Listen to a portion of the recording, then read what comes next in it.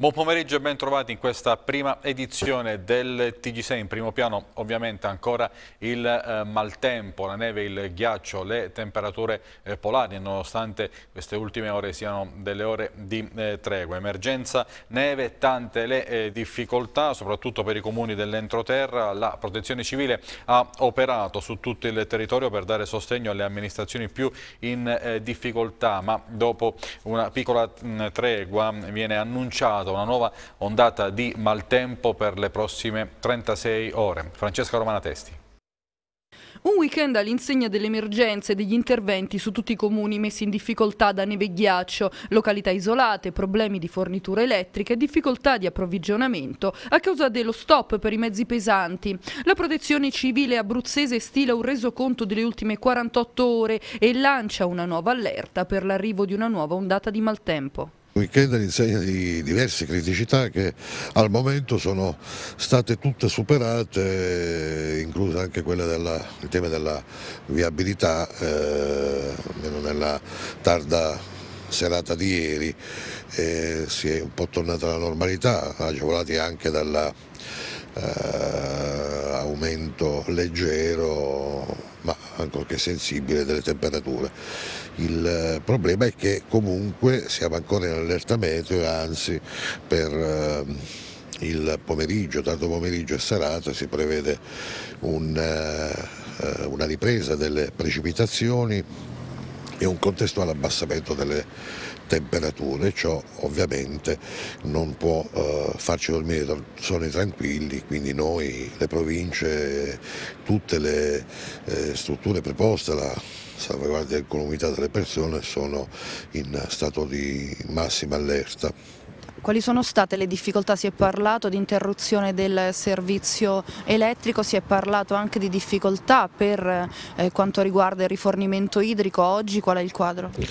Beh, in talune zone d'Abruzzo eh, abbiamo dovuto riscontrare purtroppo eh, questa ormai quasi latente eh, situazione delle linee elettriche, parlo dell'Alto Vastese in particolar modo ma anche dell'Alto Sangro per quanto attiene il tema della viabilità eh, su cui credo eh, ecco, gli enti proposti dovranno, dovranno eh, agire in maniera più puntuale e, e, soprattutto al passo con i tempi e con, e con le emergenze che ormai possono davvero prevedersi come sono state previste in queste, in queste occasioni.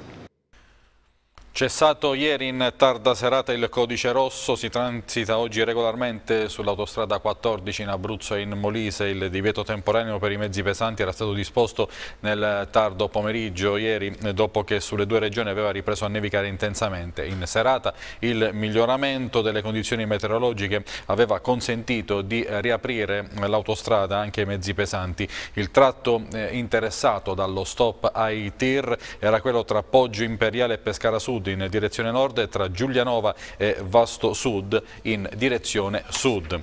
Particolari criticità si sono registrate nei giorni scorsi nell'entroterra vastese, situazione è ora in leggero miglioramento nelle ultime ore con i vigili del fuoco che si occupano anche dell'approvvigionamento eh, di eh, viveri e medicine, liberati quasi tutti i tir che erano rimasti eh, bloccati sulla Trignina. È l'entroterra vastese l'angolo d'Abruzzo più colpito dalle nevicate e dalle temperature polari di questi giorni. Situazione estremamente difficile a Schiavi d'Abruzzo, Castiglione Messerremondo e Torre Bruna. In diversi tratti la neve è caduta, ha superato i due metri e le temperature nel corso della notte sono scese fino al meno 12 e i comuni sono stati per tre giorni anche isolati finché l'arteria principale di collegamento, la statale Trignina, non è stata liberata dalla neve, anche se poi resta difficoltosa la transitabilità delle strade che dalla Trignina Legnina portano i paesi. Tuttavia nelle ultime ore è stato possibile soccorrere e dare conforto agli anziani, mentre molti cittadini si sono dovuti armare di pala per liberare dal muro bianco di neve gli accessi alle proprie abitazioni e garantirsi una via d'uscita. Al momento nessun paese è isolato, ma i vigili del fuoco stanno fronteggiando con tutti gli uomini e i mezzi le continue richieste di aiuto per il trasporto dei dializzati in ospedale e per l'approvvigionamento di viveri e medicine. I sindaci dell'Alto Vastese hanno avvertito la prefettura e hanno richiesto a breve un incontro incontro con la provincia di Chieti per discutere di come gestire eventuali future ondate di maltempo, evitando ritardi nella macchina organizzativa che hanno destato la rabbia di diversi cittadini. Intanto scuole chiuse non solo oggi ma anche domani a Vasto e in diversi comuni dell'interno come Cupello, Celenza sul Trigno, Monte Dorisio, Lentella, Palmoli, Fresa Grandinaria, San Buono, Casal Bordino, Pollutri, Scerni e Villa Alfonsina. La Polstrada di Sernia e l'ANAS stanno lottando contro il tempo per rimuovere gli ultimi quattro tir bloccati sulla Trignina dalla nevicata di giovedì scorso, prima che arrivi la nuova annunciata perturbazione meteorologica. Sulla statale che collega il Molise e l'Abruzzo erano rimasti bloccati 50 mezzi pesanti. Gli autotrasportatori erano stati alloggiati negli hotel di Sernia. Tra ieri sera e oggi, grazie a una task force di Polstrade ANAS, la strada è stata quasi completamente liberata dalla colonna di tir. Il maltempo ha anche indotto la chiusura odierna degli stabilimenti dei colossi Sevel, Honda Hydro, attività ferme anche in tante altre aziende della Val di Sangro. E ora ascoltiamo una testimonianza diretta di uno dei eh, sindaci proprio del comprensorio, il sindaco di eh, Torricella Peligna che abbiamo raggiunto telefonicamente. La situazione adesso diciamo che è sotto controllo, tutte le strade sono aperte, ma abbiamo avuto serie difficoltà eh, tra venerdì e sabato in quanto c'è stata una bufera continua di due giorni e i mezzi avevano difficoltà perché non c'era visibilità. Poi nella nottata di, di, di, sabato siamo riusciti ad aprire anche le ultime contrate che, dove mancava anche l'energia elettrica e ieri è ritornata anche l'energia elettrica, oggi abbiamo delle contrate dove manca appunto ci sono problemi sulla rete idrica per questione di gelo. Cerchiamo di gestire le emergenze laddove ci sono delle necessità o problemi appunto per anziani eh, malati che insomma hanno bisogno di medicine o di cure mediche o per quanto riguarda anche problemi sul riscaldamento. Le scuole rimarranno chiuse? Le scuole rimarranno chiuse sicuro oggi e domani, ma probabilmente se il tempo peggiora e eh, rinevicherà saremo costretti anche a chiudere ulteriori giorni.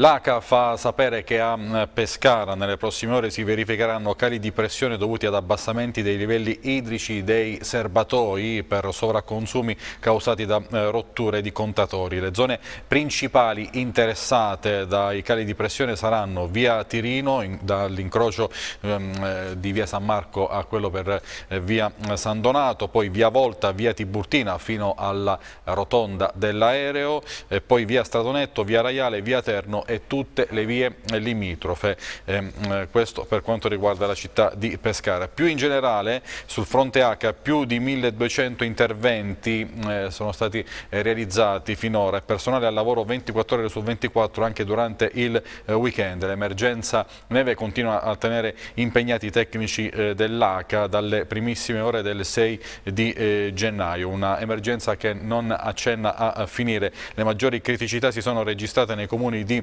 eh, montagna nelle zone eh, collinari i maggiori disagi si sono verificati per la rottura dei contatori e delle tubazioni idriche. Il gelo ha causato il blocco dell'erogazione dell'acqua eh, anche senza che vi fossero verificate rotture. Per le prossime ore l'ACA consiglia ai cittadini di segnalare guasti e disagi al call center, in particolare ai numeri 800 800 838 e 800 890 541. Ehm, poi si possono possono usare anche il numero fisso 085 41 78 200, il numero di fax 085 41 56 113 oppure segnalazioni via mail a eh, callcenter.tecnico.h.pescara.it e poi ancora l'H fa sapere che è necessario ehm, che eh, l'utente sappia per evitare rotture da gelo ehm, che è tenuto a proteggere i contatori. Si consiglia ai proprietari di seconde case di controllare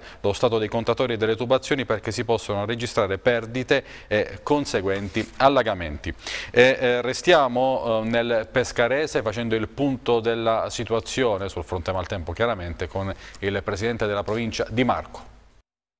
Una provincia messa a dura prova dall'ondata di maltempo iniziata giovedì scorso, un lavoro incessante per i comuni che hanno dovuto provvedere a interventi su strade e richieste di aiuto dei cittadini. 33 ICOC attivati nella regione, scuole chiuse nella giornata di oggi e dopo una tregua iniziata nel pomeriggio di domenica si attende una nuova ondata di maltempo. Una diciamo, situazione critica soprattutto nel versante della Maiella dove ancora a Rocca Caramanico o a Passo Lanciano abbiamo delle situazioni ancora da monitorare, ma eh, evidentemente un po' su tutta la provincia, anche nell'area Vistina, Farindola, Penne, a, a Città Sant'Angelo per esempio, ma anche comuni più collinari che non sono abituati certamente ad avere la neve, che hanno avuto difficoltà anche rispetto al freddo eccessivo sotto i 10 gradi che ha congelato immediatamente la neve creando disagi notevoli alla viabilità e soprattutto al traffico.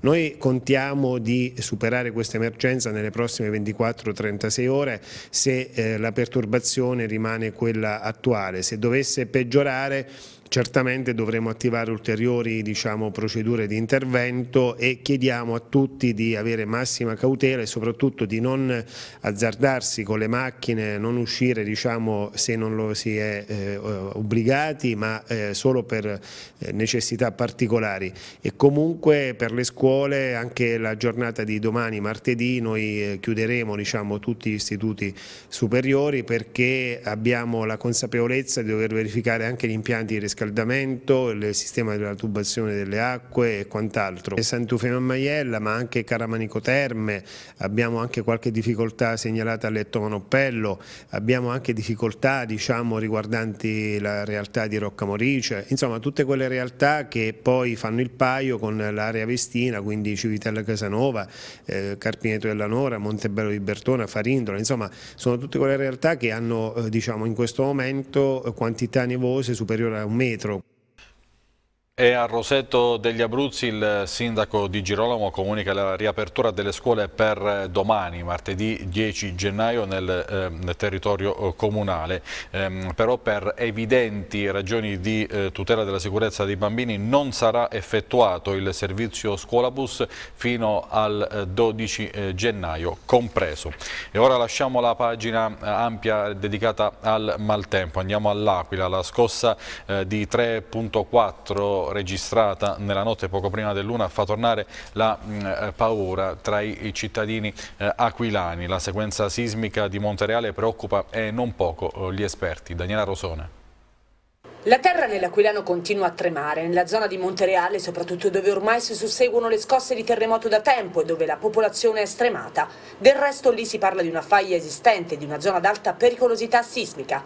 Fatto sta che ieri ci sono state molte scosse, ma quella che ha spaventato di nuovo gli aquilani nella notte, dieci minuti prima dell'una. Un boato e una botta forte e chiara, che ha svegliato tutti all'Aquila e paesi limitrofi e subito il solito ormai noto tantan sui social, che di nuovo si sono riempiti di considerazioni circa questo terremoto che va avanti ormai da tempo.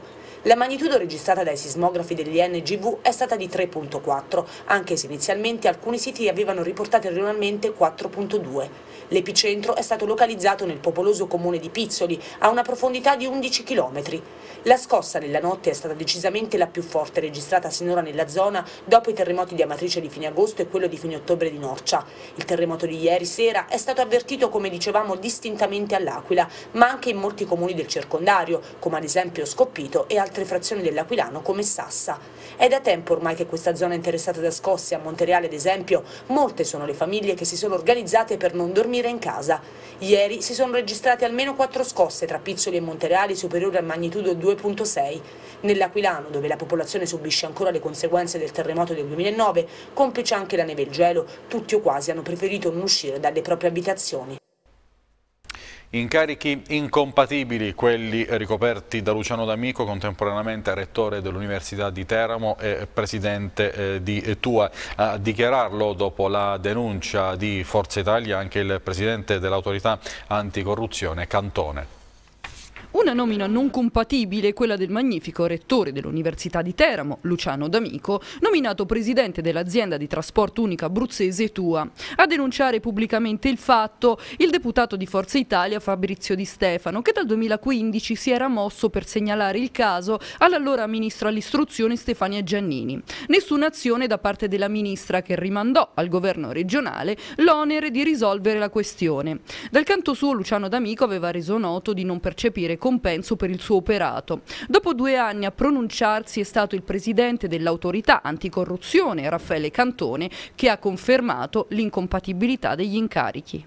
Io avevo fatto a suo tempo un'interrogazione e successivamente un esposto, non contro la persona, ma contro il caso specifico eh, che era a mio avviso illegittimo, ma lo stesso avevo fatto e sto aspettando gli esiti anche per la situazione del presidente della saga Mattoscio, perché la legge recita chiaramente eh, per poter eh, ricoprire un incarico eh, anche a titolo gratuito eh, in un ente regione come quello della regione eh, un docente universitario non deve essere a contratto pieno Ora per fare il, professore ordinario e quindi il rettore, lo statuto del, del, dell'università, ma di qualunque la legge più in generale, recita che eh, per fare, eh, ricoprire un incarico di rettore o di presidente di consiglio di amministrazione o di qualunque incarico apicale eh, si può ricoprire esclusivamente se si è docenti ordinari a tempo pieno. Eh, di conseguenza cosa, le due norme cozzano.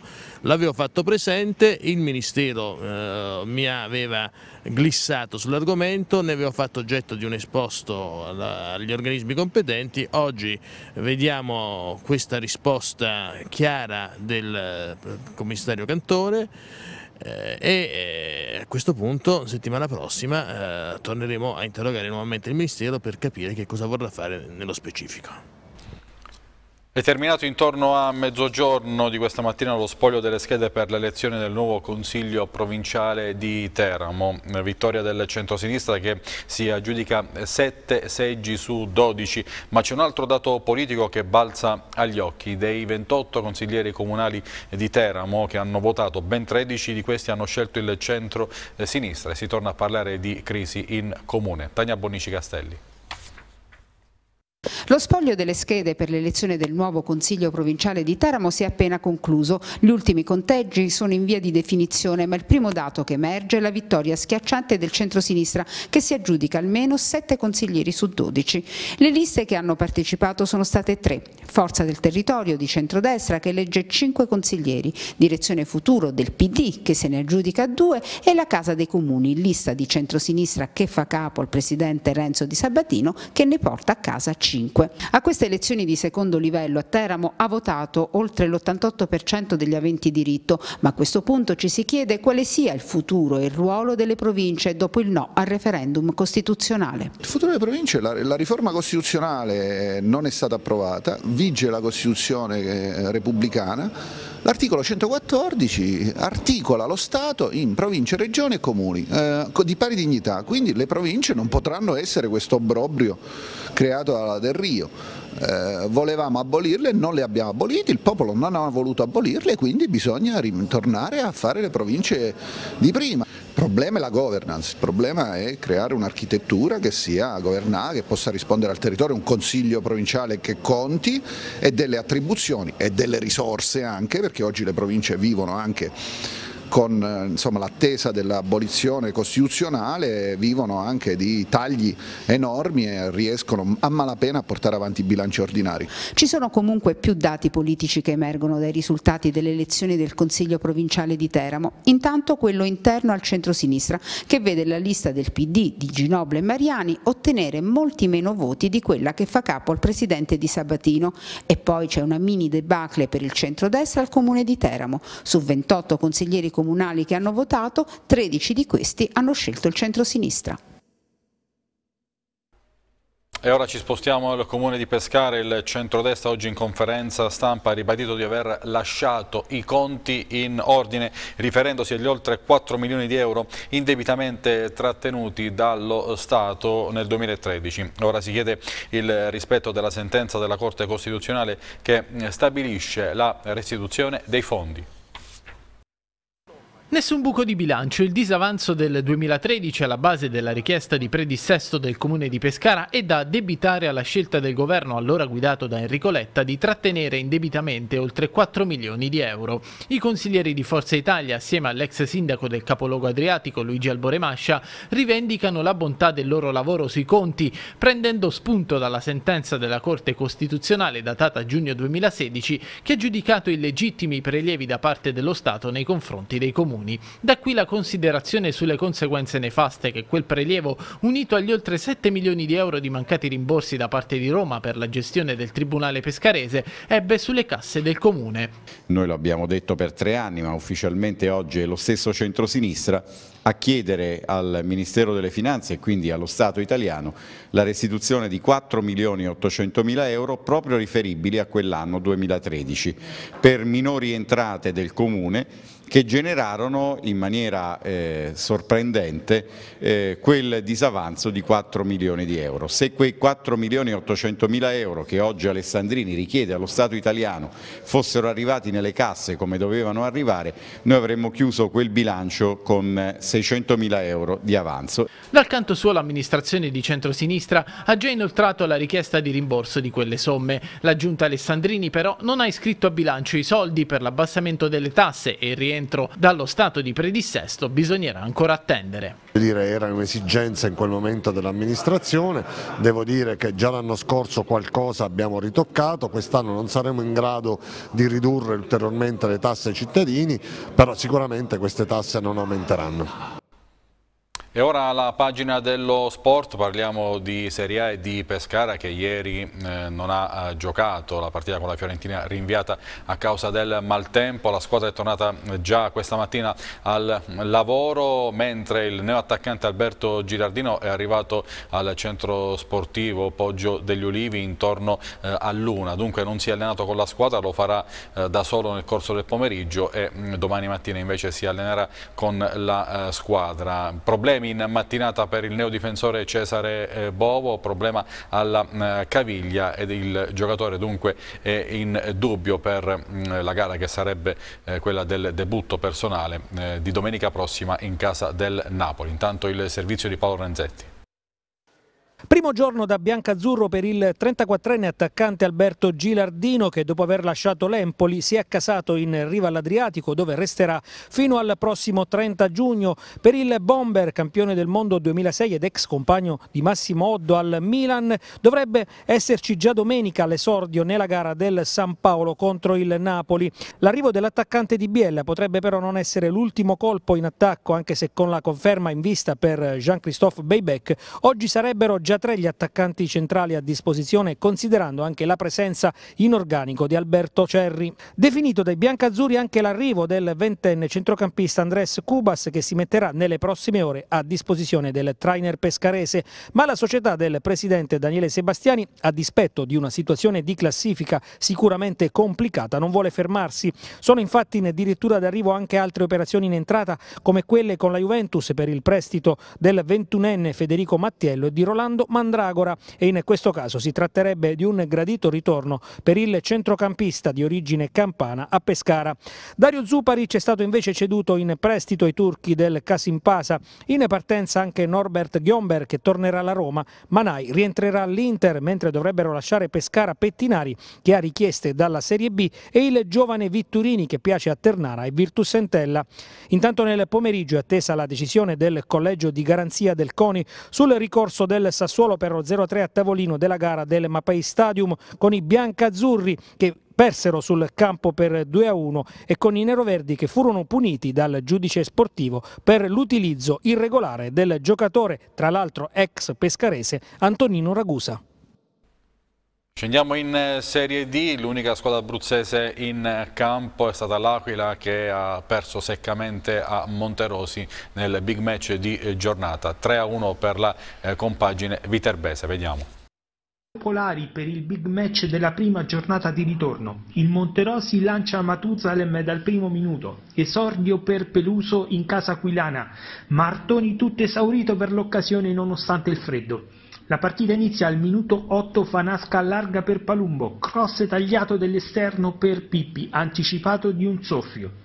Il brasiliano però timbra il cartellino al minuto 11, contropiede del Monterosi, lancio di Matusalem per Palumbo che offre un assist delizioso all'attaccante biancorosso, il quale deposita in rete la palla dell'1-0.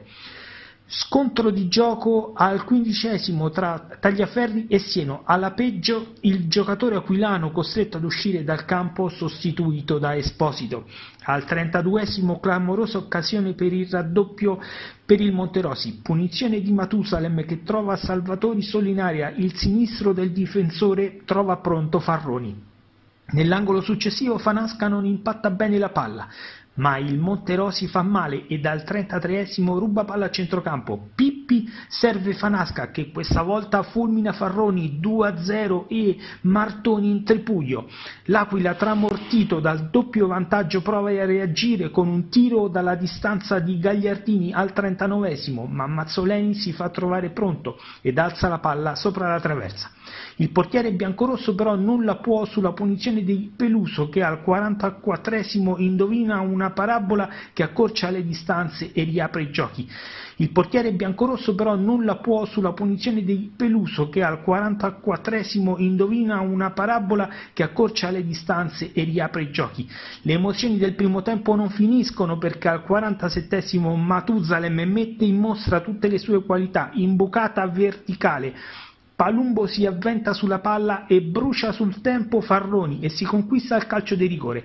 Sul dischetto Pippi si fa neutralizzare la conclusione, ma sulla respinta il brasiliano più lesto di tutti ad insaccare ed è 3 a 1. Si va a riposo nella ripresa Mini Cleri dopo due minuti prova a sorprendere di testa Mazzoleni ma la palla è alta. Al terzo Pippi avrebbe messo a segno la personale tripletta ma per la terna è fuori gioco. Al minuto 8 Mazzoleni fa un autentico miracolo sul colpo di testa ravvicinato di Gagliardini e sull'angolo seguente l'Aquila ancora vicino alla rete, la formazione di Morgia però pericolosa solo sui calci piazzati. Al quindicesimo del secondo tempo nuova rete annullata al Monterosi con Fanasca fermato in posizione di offside.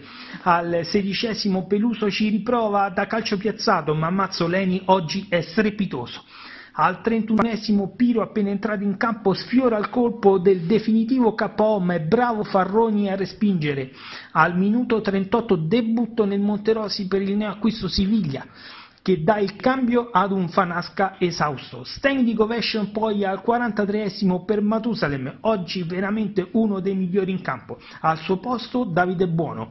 Tre minuti di recupero ma il Monterossi gestisce splendidamente il vantaggio, finisce 3 a 1 e Biancorossi in testa alla classifica in virtù del pareggio imposto dal Tresti in Arrieti. L'Aquila torna a casa a testa bassa e fa i complimenti ad un avversario oggi nettamente superiore. E nell'altra gara mh, di un abruzzese nel girone G al De Marsi Avezzano San Sepolcro è stata eh, rinviata questa partita per impraticabilità del campo. L'ha deciso il direttore eh, di gara proprio nell'ora fissata per l'inizio della partita. Ascoltiamo le parole del presidente dell'Avezzano Paris. Presidente Paris, un rinvio inevitabile quello di oggi con il San Sepolcro, campo ghiacciato, eh, sarebbe stato un rischio per, per, i giocatori, quindi decisione giusta anche se è arrivata con qualche secondo di ritardo probabilmente. Beh sì, è stata una scelta dell'arbitro che con le scarpe civili non aveva capito la pericolosità del campo, quindi del ghiaccio. Una volta che ha messo i tacchetti, scivolando anche lui, pensava soltanto che fosse ghiacciata la fascia sotto la tribuna Pietracquaria e infatti se così fosse stato la partita si sarebbe giocata perché rappresentando un ottavo della grandezza del campo eh, si poteva appunto disputare l'incontro. Quando invece si è accorto che il ghiaccio era esteso per tutto il rettangolo di gioco allora ha convenuto con i due capitani. Presidente, un rinvio che non cambia nulla per l'Avezzano, Avezzano che vuole disputare un girone di ritorno sicuramente eh, facendo meglio di quanto è stato fatto nel girone d'andata, l'obiettivo è cercare di acciuffare i playoff. L'obiettivo è fare 10 punti in più del girone di andata, quindi dai 25 messi nel cantiere di questo campionato farne 10 in più. Quindi se riusciamo a fare 35 punti arriveremo al termine del campionato con 60 punti e non so che mh, posizione riusciremo a raggiungere con quel tipo di punteggio. Chiuso il mercato dopo gli arrivi dei vari Marolda, Assisi che doveva esordire oggi? Beh sì, chiuso, 5 giocatori nuovi, ne sono andati via soltanto due, adesso abbiamo una panchina lunga che ci consente di fare un grande lavoro e che ovviamente mi auguro che serva poi per una maggiore continuità e per dare forza al progetto. A proposito di arrivi, prossimamente verrà eh, presentato un nuovo main sponsor perché da qualche giorno non c'è più eh, l'azienda Sterpetti al vostro fianco. Sì, abbiamo risolto il contratto e ci sarà probabilmente un'altra azienda sempre del territorio importante o nello stesso settore della vendita delle auto oppure un'azienda edile. È tutto per questa prima edizione del eh, TG6, per ulteriori aggiornamenti in particolare sul fronte del maltempo vi rimando alle prossime edizioni del nostro notiziario alle ore 19 e alle ore 23. Grazie per l'attenzione e buon proseguimento di giornata.